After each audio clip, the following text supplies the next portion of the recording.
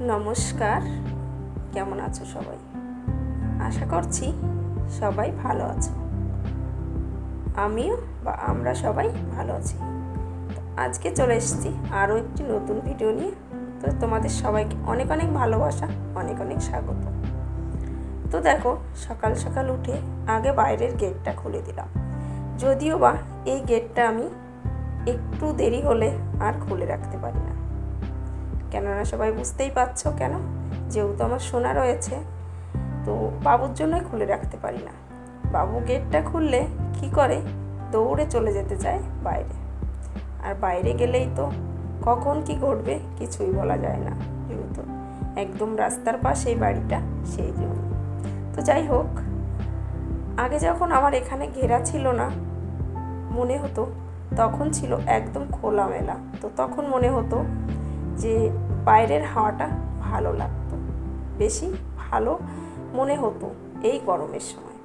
কিন্তু এখন যেহেতু একটু ঘিরে দেওয়া হয়েছে, আমার বাবুর জন্য ঘিরে দেওয়া তো যাই হোক, ঘিরে দেওয়া হয়েছে। তো আমার মনে হচ্ছে যে না, বাইরের যে ঠান্ডা হাওয়াটা আমার ঘরে মনে হচ্ছে একটু কম আসছে, যেটা আমার মনে হচ্ছে। হয়তো বা আমার মনের ভুল হতে পারে। তো দেখো, সকাল সকাল উঠে ঝাড় দিয়ে একটু জল দিয়ে দিচ্ছি। আর আমি কি করেছি জানো? এতটাই গরম, আমি যখন ভোর চারটে থেকে সাড়ে চারটে হয়, আমি আমার ঘরের পিছনের জানলাটা খুলে দিই। আর কি করি? যত সকালে হোক না কেন করার চেষ্টা করি বাইরের শাটারটা খুলে দেওয়ার। তো সেটা কেন করি? সেটা পরে বলছি। তো আমি ওদিকে কি করছি জানো? ওদিকে রয়েছে লঙ্কা গাছ, বেগুন গাছ, আর রয়েছে আমার শখের ফুল গাছ। তো সেই সব গাছে একটু জল দিচ্ছি। কেননা যা রৌদ্র ওঠে, এই রৌদ্রে গাছের অবস্থা একদম বেহাল। গাছ দেখে সত্যি খুব খারাপ লাগে, খুব কষ্ট হয়, জল দিলেও হচ্ছে না মানে শুকিয়ে যাচ্ছে। যা রোদ আর যা গরম, মানুষের এত কষ্ট হচ্ছে। তো ওদের আর বা কী দোষ বলো গাছদের? ওদের তো কষ্ট হবেই। আমরা তো না হয় বলতে পারছি, কিন্তু গাছ ওরা তো বলতে পারছে না। তো সেই কারণেই আমি সকাল বিকাল একটু জল দিয়ে রাখছি। জল দিলে অন্তত ওদের একটু প্রাণ ফিরে পাবে ওরা। সেই কারণেই একটু জলটা দিয়ে রাখছি। তো সকাল সকাল উঠে দেখো তোমাদের সঙ্গে গল্প করতে করতে আমি গ্যাসটা একটু জল দিয়ে মুছে নিয়ে, মুছে নিয়েছি, যেহেতু কালকে মুছে রেখেছিলাম, সেই কারণে একটু জল দিয়ে দিয়েছি। আর অন্যান্য কাজের সঙ্গে কি করেছি? বাবুর খাবারটা রান্না করে নিয়েছি। আর বাবুর খাবার রান্না করার পর পরই নিজে একটু ফ্রেশ হয়ে একটু লাল চা করে নিলাম। আমি আবার লাল চা আদা দিয়ে খেতে বেশি ভালোবাসি, আমার বেশি ভালো লাগে। তো তোমরা হয়তো বলবে, আজকে কেন দুটো কাপ? হ্যাঁ আজকে দুটো কাপ। কেননা আমার শাশুড়ি শাশুড়ি মা বাড়িতে ছিলে না, তো বাড়িতে এসছে, সেই কারণে দুটো কাপ। আর দেখো, চা খেয়ে একটু বসে বাবুকে খাইয়ে এই বাড়ির সামনে দিয়ে আমার ছোলার ছাতু বিক্রি করতে যাচ্ছিল একজন। তো আমার বাড়ির সামনে দাঁড়াল, সবাই নিচ্ছিল। তো আমি ভাবলাম, চলো, আগে কোনো দিন খাইনি বলা ভুল, আমার ভালো লাগতো না খেতে কোনো দিন সেইভাবে খাইনি। তো ভাবলাম, চলো অনেকে বলার পরে আমি নিয়েছি। পাঁচশো গ্রাম নিয়েছি। বললাম, যদি আমি খেতে পারি, তাহলেই পরে আবার নেব। তার জন্য একটু ট্রাই করে দেখছি, খেতে পারি কি না। তো যাই হোক, চেষ্টা তো করে দেখি, খেতে পারি কি না। তারপরে দেখা যাবে যেটা হবে। সেই কারণে গুলে নিলাম, তো এইখান থেকে আমার সোনাকেও দেবো। ও খাবে আর আমি খাব। তো দেখো, খেয়ে তারপরে চলে আসলাম। রান্নাটা একটু পরে করব। ভাবলাম, চলো বাইরের টেবিলটা একটু মুছে নিই। অনেকটা নোংরা পড়ে গেছে। সেই কারণে একটু কাপড় ভিজিয়ে নিয়ে মুছে নিচ্ছি। ভিজিয়ে মুছলে মনে হয় আমার ভালো হয়। সেই কারণে একটু ভিজিয়ে নিয়েছি কাপড়টা। তো মুছে তারপরে চলে যাব। রান্না করতে হবে। অন্যান্য আরও অনেক কাজ রয়েছে। সেগুলোও করতে হবে। সবটাই করব। আর যা গরম পড়ছে, প্রচণ্ড গরম, কি বলব তোমাদের? আমি তো সারা দিনে আমার ঘরে দরকার ছাড়া আমি ঘরের মানে আমার বাইরের গেটটা খুলি না। আমার মনে হয় না আমি বাইরে যাই। যেতেই ইচ্ছা করে না, এতটা গরম লাগে আর রৌদ্র লাগে। যেহেতু আমার একটু অসুবিধা আছে চোখে, সেই কারণেই বললাম, তাছাড়া আর কিছু নেই। তো যাই হোক, গল্প করতে করতে রান্নার দিকে চলে আসলাম। তো এখানে কি করেছি? মাছ ছিল তো বিচি যে কলা, সেটা ছিল। তো ভাবলাম, চলো অল্প রয়েছে কলাটা, একটু তরকারি করে নিই, আর এটা আছে ঘাটকোল। ঘাটকোলটা বেটে নিয়েছি। বোন এসেছিল, তো মেজে বোন সেদিন বনে দিয়ে গেছিল, তো সেই ঘাটকোলটা আজকে বেটে নিচ্ছি। আর এদিকে করছি, যেহেতু সবজিটা একটু কম হয়ে গেছে, আর মেজদাকে ভাত দিতে হবে, ভাত দেবো, ওনার শরীরটা ভালো নেই। সেই কারণে আর একটা নিরামিষ সবজি করেছি। তো দাদাকে ভাত দিয়ে এসছি, নিজে খেয়ে তারপরে আবার লেগে পড়েছি একটু ঘর গোছানোর দিকে। ঘরটা গুছিয়ে নেব। আর তারপরে কি করব? বাবুকেও খাইয়ে নিয়েছি। বাবুকে খাইয়ে নিয়েছি, ও খেলা করছে। এরপরে ওকে স্নান করানো আছে, ঘুম পাড়ানো আছে।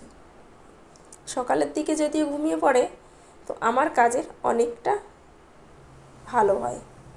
তো এটা দেখলে আমার বাবু ভীষণ খুশি হয়। সব সময় বলে, এটা ঘোরাও। তো যাই হোক, একবার ওকে দেখালাম, ও রয়েছে আমার কাছেই। আর এদিকে এই শখের, আমার এই ফটোগুলো অনেক শখের, অনেক যত্নের। তো ওই সেই যত্নের, সেই শখের জিনিসগুলো একটু ভালো করে মুছে নিচ্ছি। এটা আমি যখনই সময় পাই, তখনই করার চেষ্টা করি। তাহলে আমার শখের জিনিসগুলো যত্নে থাকবে। সেই কারণেই আমি এটা করি। আরও রয়েছে, আমার কাছে অনেকগুলো দশখানা ফ্রেম রয়েছে। তো যাব যাব করে আমার আর যাওয়া হচ্ছে না। আরও কিছু ফটো আমি বাঁধিয়ে নিয়ে আসব। কিন্তু আমি যেতে পারছি না, আমি সময় পাচ্ছি না। তো ভেবেছি যখন মেজো বোনের বাড়ি যাব, ওর বাড়ির পাশেই। তখন গিয়ে দিয়ে আসব। জানি না কি হচ্ছে, রেখে দিয়েছি গুছিয়ে। তো যাই হোক গল্প করতে করতে মোছা হয়ে গেল। এখন আমি লেগে পড়েছি বিছানায়। তোমাদেরকে কিছু একটা আমি দেখাচ্ছি। কি দেখাচ্ছি কেউ কেউ বুঝতে পেরেছ? অনেকেই বুঝতে পেরেছ। আমার বিছানাটা অনেকটা নিচু হয়ে গেছে, দেখো, মনে হচ্ছে। হ্যাঁ। কি বলব তোমাদের? দিনের বেলায় তো ঠিক আছে, ঠান্ডা থাকে। কিন্তু রাত্রেবেলায় আমি গরমে থাকতে পারছি না ঘরে। এতটা গরম মানে কি বলব, দিনের থেকে রাতে আমার রুমে গরমটা বেশি হচ্ছে। তো কারণটা জানি না কেন, তো আমি এই যে গদ্দা দেখছ, এটা আমি তুলে দিয়েছি বিছানা থেকে। সেদিন মেজবোনই তুলে দিয়ে গেছে, মা মেজবোন ছিল, ওরা। তো আমি আলনাটা সরিয়ে একটু মুছে নেব আর ওটাকে তোমাদেরকে একটু দেখাচ্ছি এটা আমি তুলে দিয়েছি। তার জন্য আমার বিছানাটা একটু নিচু মনে হচ্ছে। মানে এত গরম, তোমাদের বললাম না একটু আগে যে আমার ঘরে মনে হয় হাওয়া কম ঢুকছে, তবে এটা হয়তো আমার ওই এই কারণেই বললাম যে আমার রুমে এতটা গরম হচ্ছে রাত্রে আমি ঘুমোতে পারছি না। রাত্রে এত কষ্ট হচ্ছে, তো সেই কারণে বিছানাটাকে, বিছানার থেকে আর কি এটাকে ফেলে দিলাম। না, ফেলিনি, এটা আমি রেখে দিয়েছি। বিছানা থেকে নামিয়ে ফেলে দি, ফেলেছি আর কি।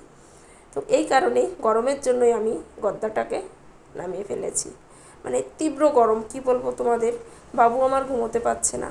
ও রাত্রেবেলায় মানে ওকে যদি আমি একদম পাতলা একটা গেঞ্জি পরেও ঘুম পাড়াচ্ছি, ও রাত্রে ঘেমে পুরো নিয়ে যাচ্ছে। খুবই কষ্ট পাচ্ছে ছেলেটা আমার।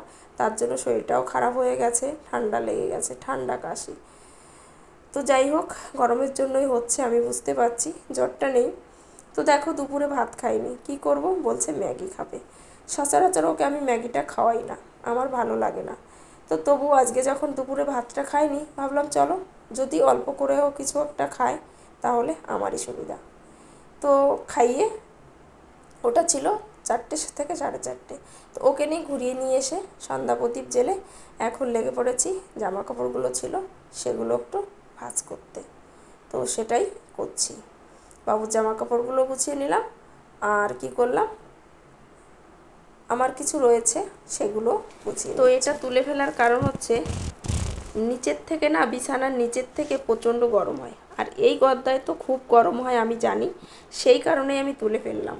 যে যদি মানে বিছানা রাত্রেবেলা মনে হয় পুরো আগুন এরকম হয়। তো যাই হোক এই কারণে তুলে ফেললাম যে না অন্তত বিছানা দু থেকে তিন মাস নিচে ওইটা নামিয়ে রাখি।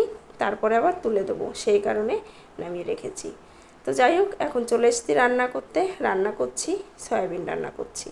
তো আজকে সবজিটা বেশি করছি, ভাতও বেশি করেছি, ভাত হয়ে গেছে। আর লাউ ভাজা করছি।